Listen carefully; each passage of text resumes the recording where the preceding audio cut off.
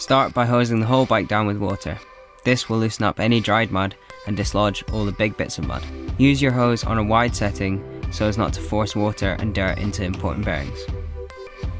Start with the drive chain next. I use Fenwicks foaming chain cleaner and spray it onto the chain, cassette, derailleur and chain rings.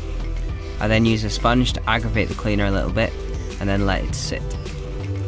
At this time I usually clean my helmet and shoes with Fenwicks bike cleaner and then rinse them off. I use this hard sponge to clean my drivetrain and this brush.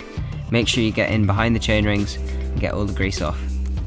Go between the big and small chainring to get it clean.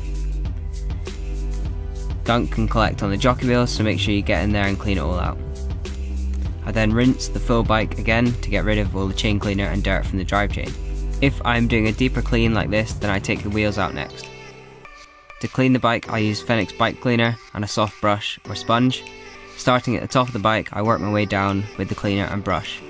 Points to look out for are under the bottom bracket, under the stem, drive side chainstay and the brake calipers, as these all get particularly muddy and can be easily missed. On the tougher bits of grease you can spray a bit of the foaming chain cleaner. Next I do the wheels.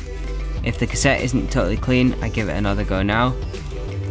Make sure you keep the greasy brushes away from your disc brakes and calipers. Clean off the rims and tyres and use a small sponge or brush to get into the hubs.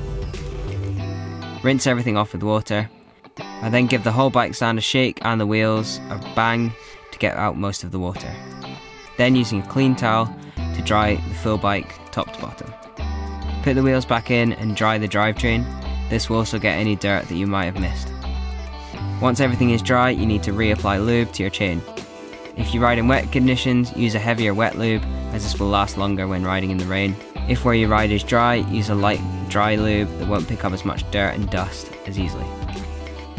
I spray a bit of lube on the mechs and jockey wheels to keep them smooth.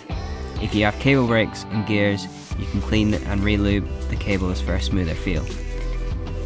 Cleaning your bike is important for keeping on top of component wear. A clean bike works, sounds and looks better, and you can also use it to find any issues, like a crack in the frame or if anything is loose. I find washing my bike quite therapeutic most of the time, and going out for a ride on a fresh, clean bike is always a win. Thanks to Fenwicks for their great products that I used in this video. You can find out more about their performance biodegradable products in the description. Consider subscribing if you are new or check out any of my other videos. Thanks for watching.